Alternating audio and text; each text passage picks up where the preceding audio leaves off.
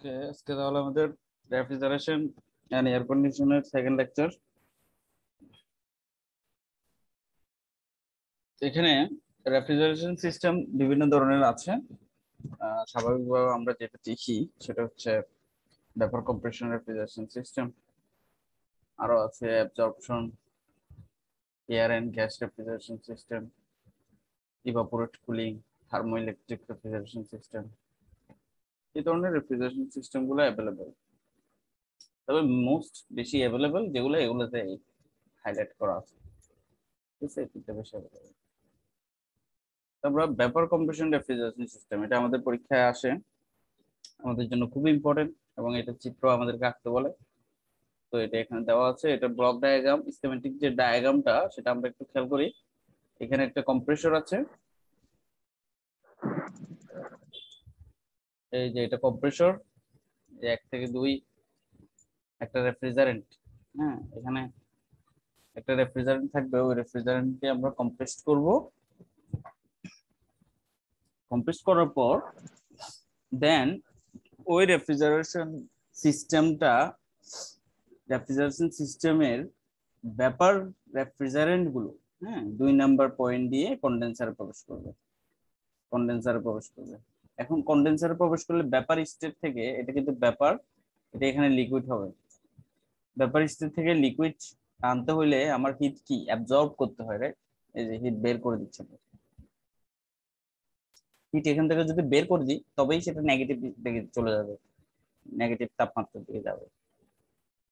ব্যাপার স্টেটটা লিকুইড স্টেটে যাওয়ার পর দেন এক্সপানশন বাল্ব ইউজ হবে এক্সপানশন বাল্ব হিসেবে আমরা বিভিন্ন ধরনের থ্রটলিং ডিভাইস ইউজ করতে পারি।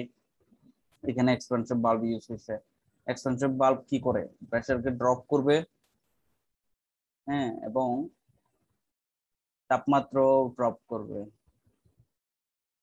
এই লিকুইড ব্যাপার লিকুইড স্টেট রেফ্রিজারেন্টের লিকুইড স্টেটটা তিন নাম্বার হয়ে এক্সপানশন বাল্ব দিয়ে ঢুকে সেটা ইভাপোরেটরে যাবে। তার মানে এটা এখন লিকুইড স্টেট এবং এখানে সেটা ব্যাপার স্টেট হয়ে যাবে তাহলে লিকুইড থেকে ব্যাপার করার জন্য আমার হিট কি করতে হবে? হিট দিতে হবে হ্যাঁ? আদারওয়াইজ তো এটা ব্যাপার হবে না। তো এই হিট দিলাম কিউএল দেন ব্যাপার হলো, এই ব্যাপারটা আবার কম্প্রেসরের মধ্যে দিয়ে কম্প্রেসড হয়ে কন্ডেন্সারের মধ্যে প্রবেশ করবে এভাবেই সাইক্লিক ব্যাপারটা চলতে থাকে। এখন এখানে একটা জিনিস লেখা আছে, দেখেন ইন ডোমেস্টিক রেফ্রিজারেটরস মানে ডোমেস্টিক বলতে আমরা বাসা বাড়িতে যে রেফ্রিজারেটরগুলো ইউজ করি এই ক্যাপিলারি অর এই small bore is used in place of an expansion bulb আমাদের বাসা বাড়িতে আমরা যে রেফ্রিজারেশন সিস্টেমগুলো দেখি, এই রেফ্রিজারেশন সিস্টেম গুলোতে এক্সপানশন বাল্ব হিসেবে এই জিনিসটি ইউজ হয় ক্যাপিলারি ক্যাপিলারি, এটা কেমন? এটা হচ্ছে একটা স্মল বোর ঠিক আছে? Is used placed of an expansion bulb expansion বাল্বের জায়গায় এই ক্যাপিলারিটা আমরা ইউজ করি। Also it's also an irreversible process হ্যাঁ? Irreversible process it's also call reverse Rankine cycle এই সাইকেল এটা এটা যে সাইকেলে কাজ করছে এই সাইকেলটাকে আমরা রিভার্স র্যাঙ্কিং সাইকেল বলতে পারি। ঠিক আছে? পর্যন্ত। এখন আসেন, এই ডায়াগ্রামগুলো আমাদের জন্য ইম্পর্টেন্ট যেমন এখানে একটা দেখেন পিএইচ ডায়াগ্রাম প্রেসার এবং এনথালপির যে ডায়াগ্রামটা এটা দেখেন। প্রথমে আমরা কি বলছি? কম্প্রেসরের মধ্যে দিয়ে কম্প্রেসড হবে। এই যে কম্প্রেসরের মধ্যে এক থেকে দুই কম্প্রেসর দেন ব্যাপার স্টেট হ্যাঁ এই যে ব্যাপার রেফ্রিজারেন্ট যেটা ছিল, যেটা আমরা বললাম যে কম্প্রেসরের থেকে বের হওয়ার পর সেই ব্যাপার, এই ব্যাপারটা একদম সুপার হিটেড ব্যাপার। তার মানে স্যাচুরেটেড না, একদম সুপার হিটেড এই জায়গাটাতে চলে আসছে। এই জায়গা থেকে, এই এই জায়গা, এইখানে যে ডিসপ্লেসমেন্টটা তার ঘটলো, এটা কেন ঘটলো?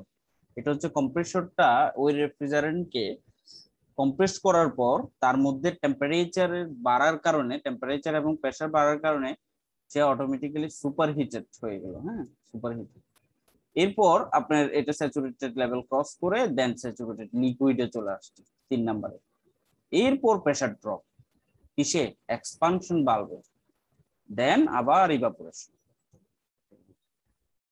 ঠিক আছে? এটা হচ্ছে PH diagram pressure enthalpy diagram এরপর দেখেন আপনার প্রেসার আর ভলিউমের ডায়াগ্রামটাতে কি হচ্ছে? প্রেসার আর ভলিউমে কি হচ্ছে? তাহলে প্রেসার তো প্রেসার আর ভলিউমের এখানে চেঞ্জ কি হচ্ছে? এই যে কম্প্রেসর এক থেকে দুই কম্প্রেস করতেছে। হ্যাঁ তাহলে কি হবে? এখানে একটা ডিরেকশন হবে। রাইট এই ভিতরের দিকে কম্প্রেস করতেছে। করছে দেন কন্ডেনসেশন হিট আউট হচ্ছে, যেটা আমরা এখানেও বলছি। হিট আউট হচ্ছে কন্ডেন্সারের মধ্যে দিয়ে। এরপর হচ্ছে থ্রটলিং ডিভাইস বা এক্সপানশন বাল্ব হ্যাঁ সেটা ভলিউম কি হচ্ছে? এই থ্রটলিং বাল্বে আপনি প্রেসারটা রিডিউস করতে গিয়ে ভলিউমটাকে বাড়াই ফেলছেন। হ্যাঁ আমরা আমরা জানি সচরাচর যে আমরা ছোটবেলায় অনেক পাইপে যখন আমরা বাগানে পানি দিতাম হ্যাঁ ওই পাইপ গুলাতে আমরা ওটার যে এখান দিয়ে পানি বের হয়, ওই পাইপটাকে আমরা চেপে ধরলে ওটা কিন্তু প্রেসার ভ্যালোসিটি বেড়ে যেত রাইট মানে আপনি চেপে ধরার ব্যাপারটা প্রেসার বেড়ে যেত সরি প্রেসার বাড়তো হ্যাঁ। তো আপনি চিন্তা করেন তো, ওই জিনিসটা, ওই ফাইভের যেই যেই জায়গা দিয়ে পানিটা বেরোচ্ছে, ওই জায়গাটা আপনি চিপে ধরতেন। তার মানে ভলিউমটাকে কি করে ফেলছেন? কমিয়ে ফেলছেন। কমিয়ে ফেললেই প্রেসারটা বাড়ছে। কিন্তু এই ভলিউমটা আপনি যত বাড়াইতে পারেন, আপনি যদি ফাইভটা আরও মোটা নেন, তাহলে প্রেসার আস্তে আস্তে কি হবে? রিডিউস হবে। এই জায়গাটাতেই এখানে, এই ঘটনাটাই আপনার এখানে মনে থাক, না থাকলে আপনি বুঝতে পারেন যে আমি এই প্রেসারটা এখান থেকে এখানে রিডিউস করার জন্য আমার এই পরিমাণ ভলিউম এক্সপানশন হচ্ছে। এই ভলিউমটা। ভাইয়া। হ্যাঁ হ্যাঁ। ভাইয়া ওই বইয়ে কিন্তু মানে মানে ড্রাইভে দেখলাম যে মানে পিবি ডায়াগ্রামটা কার্নট সাইকেলের মতো করে আছে হ্যাঁ। কার্নট সাইকেলের মতো আঁকে মানে মেকার ড্রাইভে বই আর কি আচ্ছা। আচ্ছা পিবি ডায়াগ্রামটা কার্নট সাইকেলের মতো এঁকে ওই জাস্ট ডিরেকশনগুলা উল্টা করে দিছে। মানে যেভাবে কার্নট না। থাকে তার উল্টা। না না এটা এটা ইম্পসিবল এটা আমি জানি না তাহলে। হয়তো আপনি প্রথম এডিশন তোমার থেকে প্রথম এডিশন হ্যাঁ প্রথম এডিশন প্রথম এডিশন হলে এটা ভুল থাকতে পারে এটা আমি জানি না। তবে এটা রিভার্স কান্নট না। একটা জিনিস খেয়াল করো এটা রিভার্স র্যাঙ্কিং ঠিক আছে? এটা একটা গেল কথা। আর সেকেন্ড কথা হচ্ছে এটা কান্নটের মতো কোয়াইট ইম্পসিবল এটা কম্প্রেসর কম্প্রেসর আপনার এটা স্টেট একদম এভাবে সোজা হবে না। এভাবে সোজা কম্প্রেসর কখনোই হবে না। ঠিক আছে? এটা ইম্পসিবল একটা ব্যাপার। কারণ আপনি একটা জিনিস খেয়াল করেন না স্ট্রেট হওয়া মানেটা কি? এর ভলিউম কনস্ট্যান্ট হ্যাঁ? ভলিউম কনস্ট্যান্ট তো ভলিউম যদি কনস্ট্যান্টই হয়, তাহলে তো এই কম্প্রেসরের কোনো কাজই হয়নি। বুঝছেন? এখানে তো বোঝাই যাচ্ছে ব্যাপারটা। কনস্ট্যান্ট ভলিউম যদি হয়ে যায়, তাহলে তো কম্প্রেসরের কাজ জিরো বাট আমি কম্প্রেসর দিয়ে উল্টা কাজ দিচ্ছি সিস্টেমে তাহলে এটা কাজ জিরো হওয়া তো কোনো পসিবিলিটি নেই এটা বাঁকাই হবে অবশ্যই।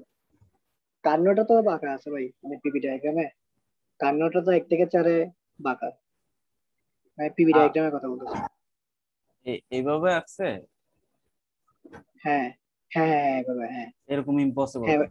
এরকম ইম্পসিবল এটা টোটালি ইম্পসিবল কেন জানেন? এটার এটার দুইটা আইসোথার্মাল প্রসেস দুইটা অ্যাডিয়েবেটিক প্রসেস এটা আরও বেশি ইম্পসিবল ওটা চিত্রে ভুল আছে তাহলে হান্ড্রেড পার্সেন্ট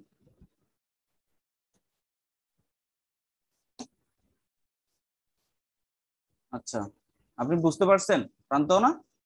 জি ভাইয়া হ্যাঁ বুঝতে হ্যাঁ। তাহলে এরপর দেখেন টিএস ডায়াগ্রাম অর্থাৎ টেম্পারেচার এবং এন্ট্রপির যে ডায়াগ্রামটা হ্যাঁ দেখেন আমরা এখানেই বলছি যে এটা সুপার হিটেড করে ফেলছে রাইট এই কম্প্রেসরটা এক থেকে দুই আমার লিকুইডটাকে রেফ্রিজারেন্টটাকে সুপার হিটেড করে ফেলছে। তার মানে এটা টিএস ডায়াগ্রামও দেখেন সেম জিনিস। এক থেকে দুই একদম সুপার হিটেড করে ফেলছে।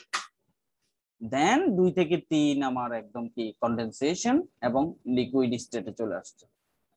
ঠিক আছে? এরপর দেখেন, এখানেও কিন্তু সোজা নামে নেই। এটা মানে এক্সপানশন ভালভের ধারা। এক্সপানশন ভালভ কিন্তু আপনার একটা ডিভাইস বলতে পারেন হ্যাঁ? একটা এক্সট্রা একটা ইনস্ট্রুমেন্ট বলতে পারেন। কিন্তু এটা এটা এটা মেশিনও না, এটা কন্ডেন্সারও না, এটা ইভাপোরেটরের মতোও না। হ্যাঁ এটা ছোট একটা ডিভাইস জাস্ট এ কখনোই কিন্তু দেখেন কনস্ট্যান্ট এন্ট্রপিতে কনস্ট্যান্ট এন্ট্রপিতে সে কাজ করছে না। এই যে তিন থেকে চার প্রাইম এটা কাজ করছে না, বরঞ্চ তিন থেকে চার এইটাতে কাজ করছে।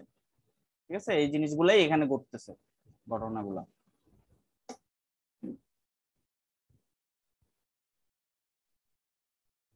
ঠিক আছে? এটা ডায়াগ্রামগুলো প্র্যাকটিস করবেন, এগুলো পরীক্ষায় আসে। আর অনেক ইম্পর্টেন্ট আমরা সূত্রগুলো দেখি।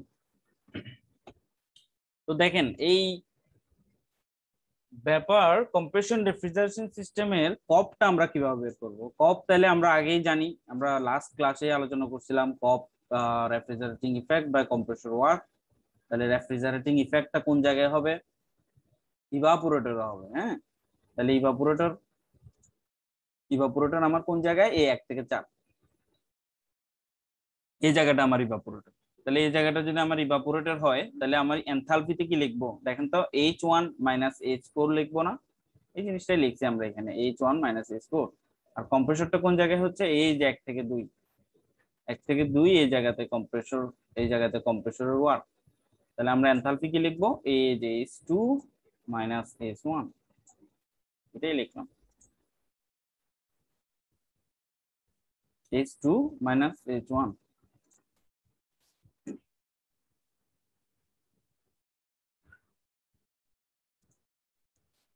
ঠিক আছে? এরপর দেখেন, এখানে ওয়ান ইইআর ইইআর মানে কি?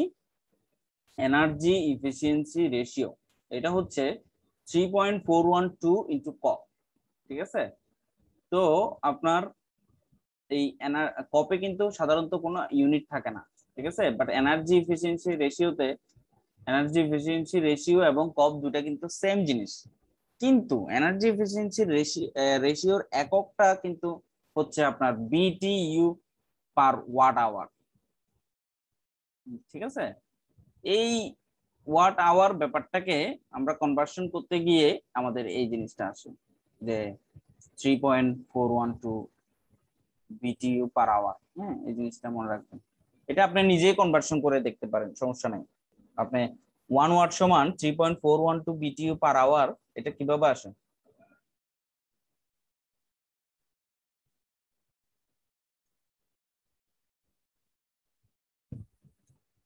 কি লিখছি আমরা? ওয়ান ওয়াট সমান three point four one two BTU per hour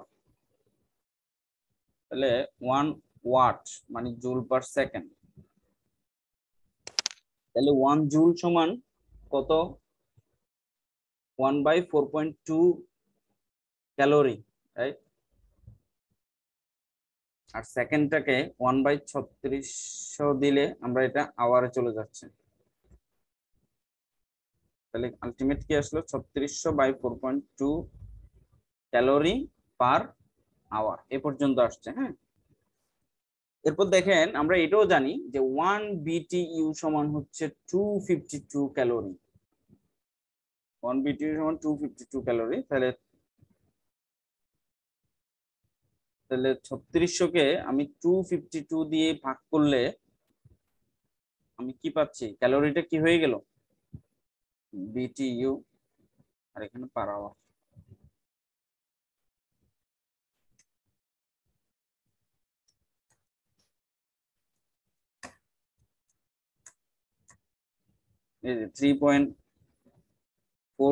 one এটাকে আমরা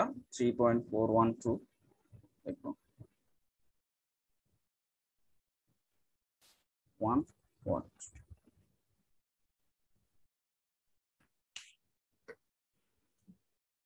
ঠিক আছে, এটা এটা আমাদের রেফ্রিজারেশনে বেসিক্যালি বেশি ইম্পর্টেন্ট না, এটা আমাদের এসির জন্য ইম্পর্টেন্ট হ্যাঁ রুম এসি যেগুলো। ওগুলোতে আমরা এই ইফিসি এনার্জি এফিসিয়েন্সি রেশিও বেশি ইউজ করি। ঠিক আছে? এরপর আসেন এস আর মানে সিজনাল এনার্জি এফিসিয়েন্সি রেশিও এটা স্প্লিট এসির জন্য ইউজ করব আমরা হ্যাঁ? এটা সূত্রটা এখানে লিখে দিচ্ছি এটা আপনারা একবার জাস্ট প্র্যাকটিস করবেন। এরপর আসেন হিট রিজেকশন ফ্যাক্টর এটা হচ্ছে one plus one by COP ঠিক আছে? এই তিনটা জিনিস মনে রাখেন, আরও অনেক কিছু আছে এরকম। তো এগুলো দরকার নেই। এগুলা মোটামুটি ম্যাথে তুলে দেয়, এই কারণে এগুলা একটু বেশি ইম্পর্টেন্ট ওকে তো আমাদের ম্যাথ আসছে কিছু। তাহলে আমরা কি শিখলাম এতক্ষণ? এতক্ষণ আমরা কি শিখছি? ব্যাপার কম্প্রেশন রেফ্রিজারেশন সিস্টেম এটা কি কি কি কি দেখলাম আমরা? কি কি দেখলাম? বলুন তো, দেখি একজন। পিবি টিএস পিএস ডায়াগ্রাম হ্যাঁ প্রথমে দেখছি আমরা ব্লক ডায়াগ্রাম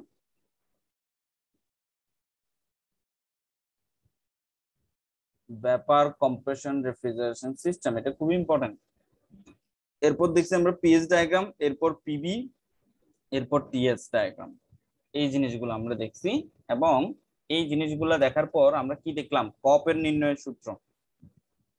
এটা বেসিক সূত্র refrigerating effect by compressor work ঠিক আছে? এরপর আমরা দেখলাম heat rejection factor one plus one by COP এরপর আমরা দেখছি এসির জন্য এনার্জি ইফিসিয়েন্সি রেশিও এটা সূত্র কি ছিল? Three point four one two into COP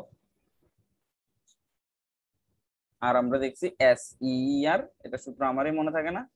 এটার আপনারা সূত্রটা দেখবেন।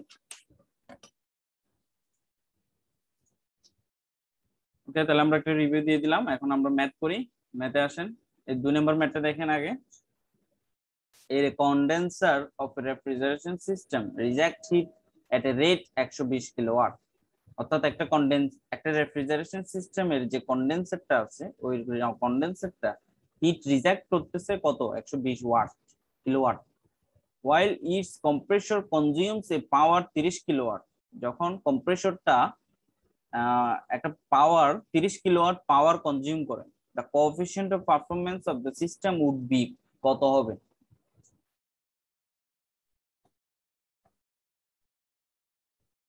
কেউ পারলে করে ফেলেন। তাহলে কি কি দেওয়া আছে? কন্ডেন্সারের কন্ডেন্সারের কিউটা দেওয়া আছে, একশো বিশ কিলোওয়াট তারপর হচ্ছে আপনার কম্প্রেসর কম্প্রেসর পাওয়ারটা হচ্ছে তিরিশ কিলোওয়াট কপ আপনাকে বের করতে বলছি।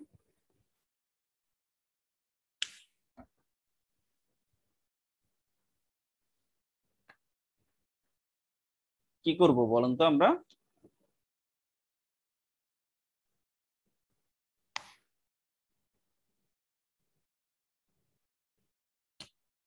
তাহলে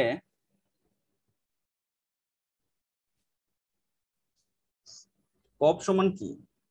কপ সমান হচ্ছে refrigerating effect by compressor work তো কম্প্রেসর ওয়ার্ক তো দেওয়া আছে। এখন এই রেফ্রিজারেটিং ইফেক্টটা হচ্ছে মানে ইভাপোরেশন ওয়ার্কটা ইভাপোরেশন হিট আর কম্প্রেসর ওয়ার্ক এই পর্যন্ত আমরা বুঝি। এখন দেখেন, আপনাকে আরেকটা জিনিস একটু বুঝতে হবে।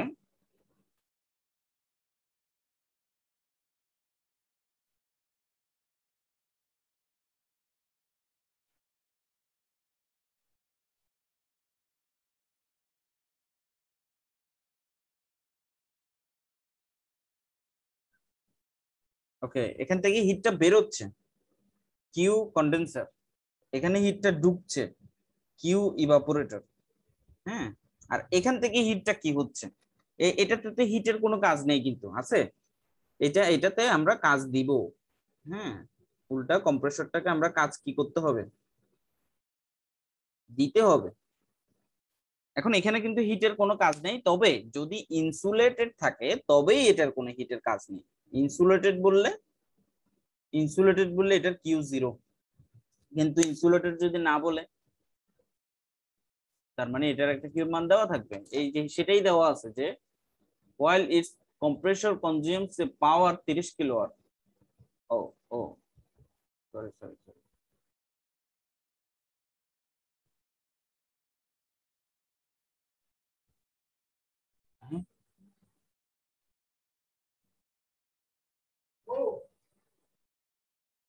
আচ্ছা আমাদের একটু ভুল হচ্ছে। আমরা এই ব্যাপারগুলোকে পাওয়ার হিসেবে কনসিডার করি। পাওয়ার পাওয়ার পাওয়ার তাহলে এটাকে পাওয়ার দিতে হবে। এই ভ্যাপোরেটরকেও পাওয়ার দিতে হবে। এই ভ্যাপোরেটর থেকে পাওয়ার নিতে হবে। ঠিক আছে? দেখেন আমি হিট গুলাকে পাওয়ার হিসেবে কনজিউম করলাম। তাহলে যদি এমনটাই হয়, তাহলে এইরকম ব্যাপারটা লেখা যায়। দেখেন তো W condenser equal W compressor plus W evaporator তাহলে ডাব্লিউ কন্ডেন্সার বের হয়ে যাচ্ছে ইকুয়াল কি কি ঢুকছে কম্প্রেসরটা ঢুকছে এবং ইভাপোরেটরটা ঢুকছে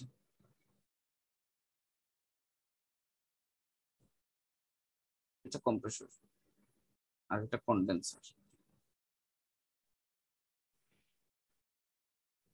তাহলে এই কন্ডেন্সারটা বের হচ্ছে কত? একশো বিশ কিলোওয়াট কম্প্রেসরটা হচ্ছে তিরিশ কিলোওয়াট কনজিউম করতেছে, নিচ্ছে সে। তাহলে আপনার ইভাপোরেটরের ওয়ার্কটা পাচ্ছেন না। ইভাপোরেটরের ওয়ার্কটা তাহলে কত আসবে? নাইনটি কিলোওয়াট ওকে তাহলে ইভাপোরেশনের যদি নাইনটি কিলোওয়াট আমরা পেয়ে থাকি তাহলে আমরা ইভাপোরেশন ইভাপোরেশন কত? নাইনটি নাইনটি এখানে বসাবো। আর কম্প্রেসর কত? থার্টি থার্টি এখানে বসাবো। তিন।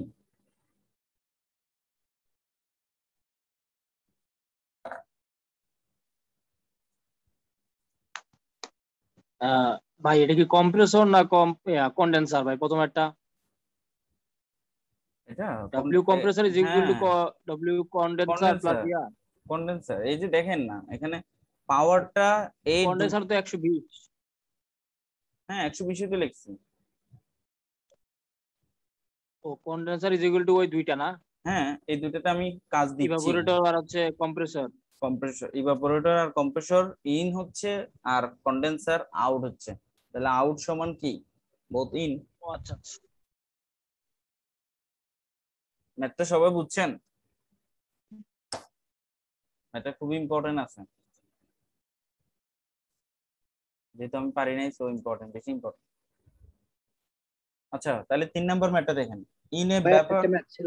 হ্যাঁ ওই একটি একটন এসি এক ঘণ্টা চালু থাকলে কত বিদ্যুৎ খরচ হবে? ও এক টন এসি এক ঘণ্টা চললে কত বিদ্যুৎ? খরচ হবে। খরচ হবে। তাহলে এক টনের একটা এসির কুলিং ক্যাপাসিটি কত?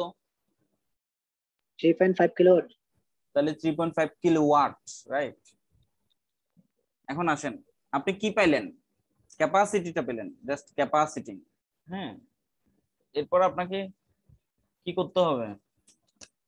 আপনি কুলিং ক্যাপাসিটিটা পেলেন।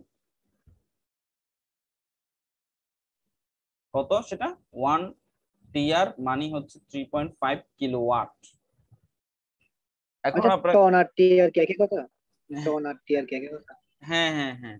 এইটা টর্ন আর টিয়ার একই জিনিস। এটা কুল রেফ্রিজারেশন এবং এসির জন্য সেম জিনিস দুটো একটা এক টন এসি আপনি দেখেন একটা জিনিস খেয়াল করেন।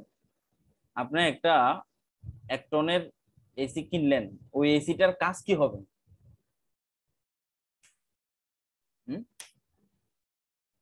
কুলিং করাই তো নাকি?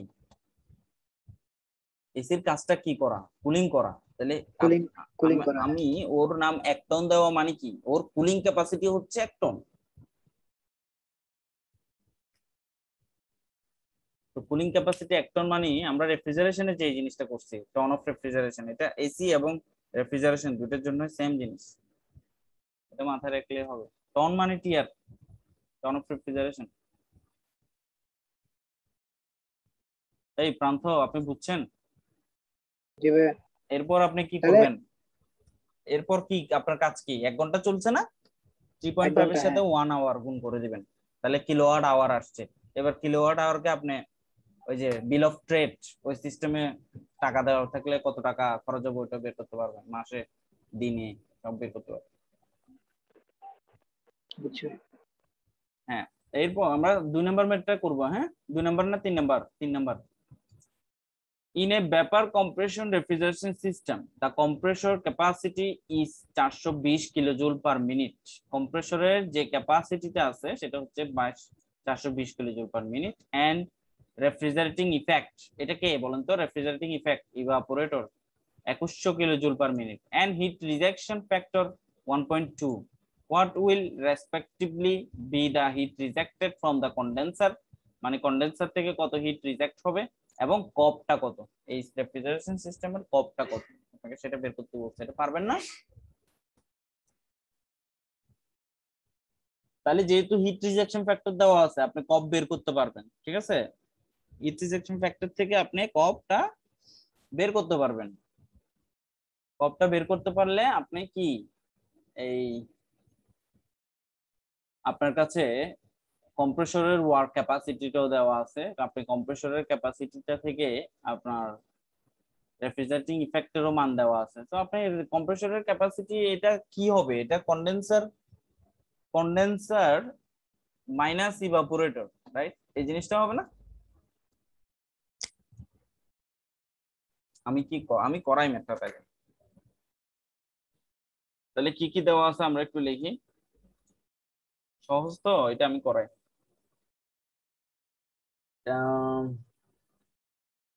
কম্প্রেসর ক্যাপাসিটি দেওয়া আছে। কম্প্রেসর ক্যাপাসিটি হচ্ছে চারশো বিশ কিলোজুল পার মিনিট ওকে এরপর হচ্ছে রেফ্রিজারেটিং ইফেক্ট রেফ্রিজারেটিং ইফেক্ট হচ্ছে একুশশো kilojoule per minute heat rejection factor H R F এটা হচ্ছে ওয়ান পয়েন্ট টু আমাকে বল বের করতে বলছে কন্ডেন্সার দিয়ে কত হিট আউট হবে? Condenser capacity what and cop what oh sorry তাহলে এই হিট রিজেকশন ফ্যাক্টর থেকে আমরা কপটা বের করে ফেলতে পারব।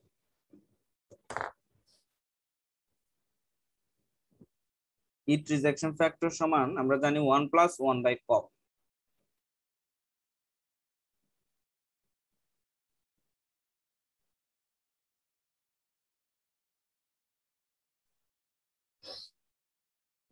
one point two one by one COP তাহলে এখান থেকে কপটা বের হবে। কারও বের হবে কিনা দেখেন। এরপর কপ সমান কি?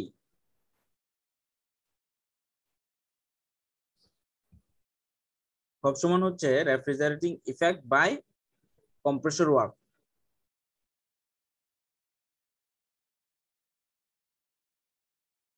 compressor work এই কম্প্রেসর ওয়ার্কে আমরা লিখতে পারব কি? Condenser capacity minus evaporation capacity এখানে ইভাপোরেশন ক্যাপাসিটি কপ সমান আপনি ডিরেক্টও করতে পারবেন আই হোপ আপনি ডিরেক্ট করবেন বলতে একটু আগে আমরা যে সূত্রটা লিখছিলাম, আশা করি বুঝতেছেন কি কি হচ্ছে এখানে। One point two one plus one by COP কপটা আসছে ফাইভ তো ইভাপোরেশন যে ওয়ার্কটা সেটাই রেফ্রিজারেটিং ইফেক্ট একুশশো আর কন্ডেন্সার ক্যাপাসিটি মাইনাস একুশশো। তাহলে কন্ডেন্সারের ক্যাপাসিটি বের আসবে না?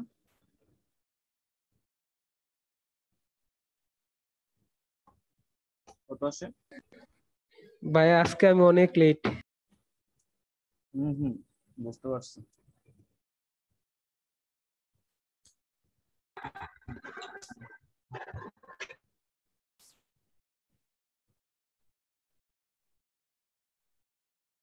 পঁচিশশো বিশ আসছে?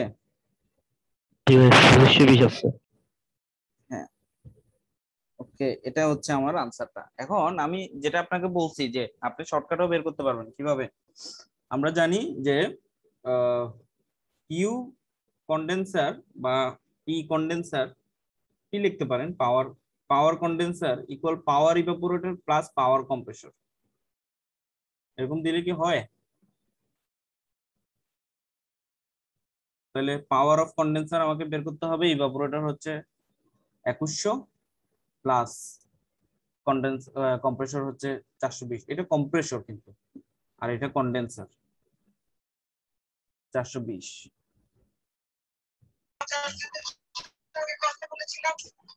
আচ্ছা ভাইয়া হ্যাঁ। এই যে কপের কপের এখানে এখানে হচ্ছে আপনার ইভাপোরেটর আপনার ইভাপোরেটর যে ক্যাপাসিটি এখানে হচ্ছে আপনার হ্যাঁ.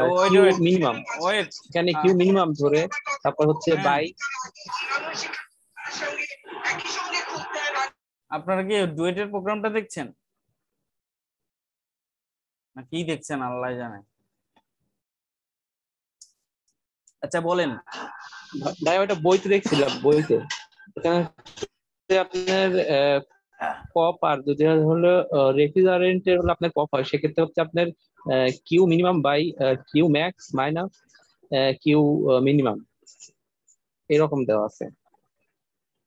হ্যাঁ মিনিমাম মানে ইভাপোরেটরটা বোঝাচ্ছে হয়তো বা হ্যাঁ। হ্যাঁ একই কথা তো? কিউ টু এই যে আমাদের আমরা গত ক্লাসে এটা আলোচনা করছিলাম যে এটা আমরা Q one then Q two minus Q one এই জিনিসটা লিখতে পারি। তো এই কিউ ওয়ানটা এটা মিনিমাম ধরছে কিউ মিনিমাম আর এটা হচ্ছে কিউ ম্যাক্সিমাম এই জিনিসটা এভাবে লিখতেই পারে অস্বাভাবিক কিছু না। ভাইয়া। এইচ আর এফ সমান ওয়ান প্লাস রেফ্রিজারেটর তো আমি হ্যাঁ। কোপ বাইর করতে পারি সাধারণ ভাবে হ্যাঁ করছি তো। হ্যাঁ আপনি এইচ আর এফ দিয়ে করছেন বাট আমি যদি কোপ সমান সমান হ্যাঁ। রেফ্রিজারেটিং ইফেক্ট বা অবশ্যই অবশ্যই। একই আসে কিন্তু ফার্স্টই আসে আসবে কিন্তু ভাই। একই আসবে হ্যাঁ শিওর একই আসবে। আচ্ছা আচ্ছা। আমরা এখানে এক নাম্বার একটা ম্যাথ আছে আমাদের মাথা খুবই ঠান্ডা আমরা এই ম্যাথটা নিয়ে একটু চিন্তা করি এক নাম্বার ম্যাথটা আমাদের সবার মাথা মোটামুটি ঠান্ডা এটা একটু চিন্তা করি আমরা। Two refrigerator A and B operate in series সিরিজে অপারেট করছে তারা। The refrigerator uh, a absorb energy at the rate of 1 kilojoule per kg from a body at temperature 300 এটা অ্যাবজর্ব করছে রাইট অ্যাবজর্ব করে ফেলা মানে কি?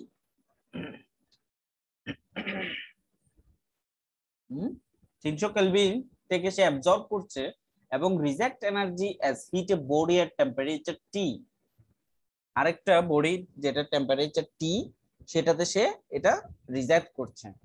The refrigerator B absorb same quantity of energy with ID reject by the refrigerator A from the body temperature T and reject energy at heat body temperature এক হাজার kelvin if both refrigerator have same COP calculate COP যাই হোক, প্রশ্ন কি বলছে? আমি তারপরে একটু চিত্রের মাধ্যমে বুঝাই।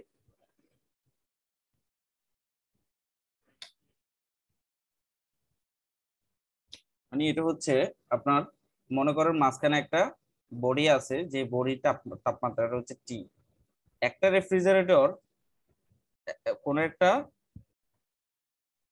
তিনশো ক্যালভিন ছিল, তিনশো ক্যালভিন তাপমাত্রা থেকে একটা হিট অ্যাবজর্ব করছে। অ্যাবজর্ব করে সে টি ডিগ্রি সেন্টিগ্রেডে ডিজার্ভ করছে।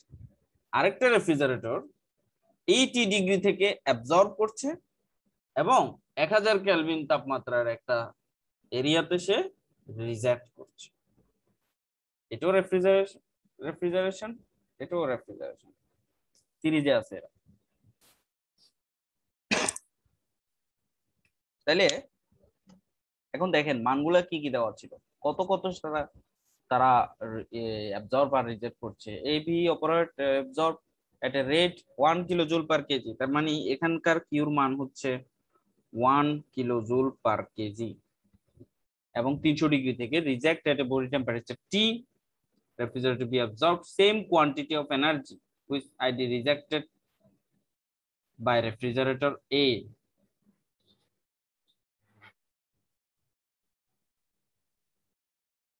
তাহলে এই বিটা এ যে পরিমাণ এনার্জি রিজেক্ট করছে ঠিক বি সেম পরিমাণ এনার্জি অ্যাবজর্ব করছে এই কথাটাই বলছে এখানে and reject energy as, as heat a body temperature 1000 Kelvin. If both refrigeration have same cup, দুইটার cup same,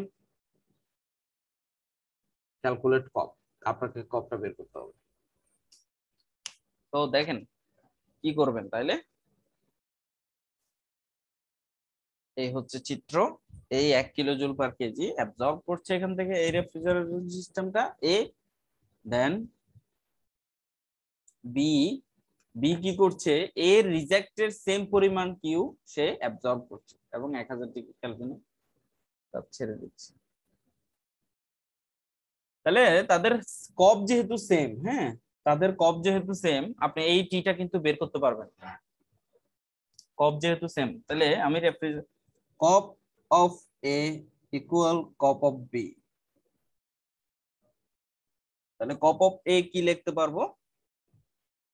ছোট টেম্পারেচার তিনশো টি মাইনাস তিনশো রাইট এটা বুঝছেন? তিনশো ডিভাইডেড বাই টি মাইনাস তিনশো, কারণ এটা ম্যাক্সিমাম টেম্পারেচার হবে, এটার জন্য, এই সিস্টেমটার জন্য এটা ম্যাক্সিমাম টেম্পারেচার আর এই সিস্টেমটার জন্য এটা হচ্ছে লোয়ার টেম্পারেচার বাট এটা হচ্ছে ম্যাক্সিমাম টেম্পারেচার তাহলে কপ বি এর জন্য আমার হচ্ছে মিনিমাম টেম্পারেচার টি আর ওয়ান থাউজেন্ড মাইনাস টি এখান থেকে টিটা বের করবে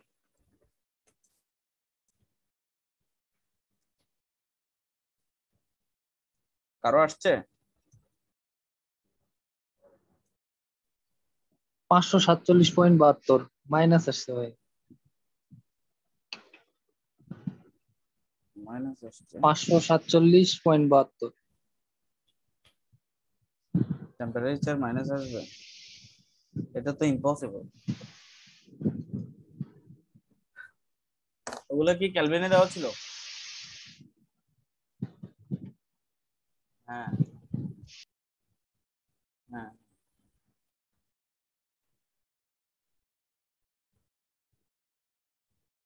এটা কেমনে সম্ভব?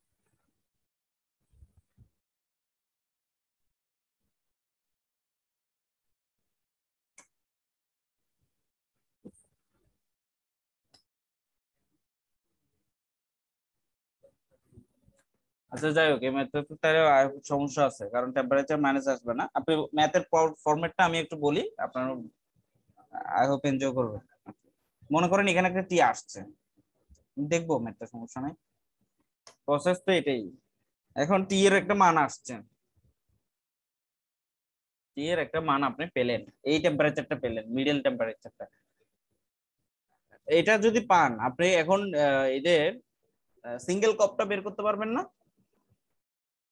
সিঙ্গেল কপ বের করে যাবে। যে কোনো একটা রেফ্রিজারেটর ধরলে সিঙ্গেল কপ বের করে যাবে।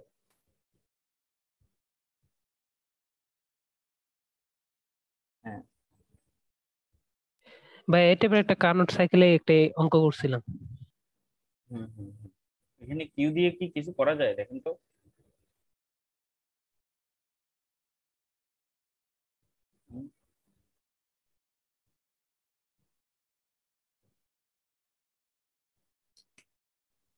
আচ্ছা এটার কপ কি আসবে যদি কিউ দিয়ে হিসাব করি? One Q two minus one